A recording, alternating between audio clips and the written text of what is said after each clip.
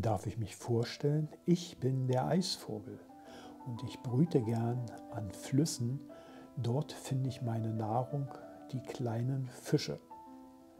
Hier werde ich mit einem Bleistift gezeichnet, sodass mein Gefieder lebensecht wirkt, als wenn man mich berühren kann.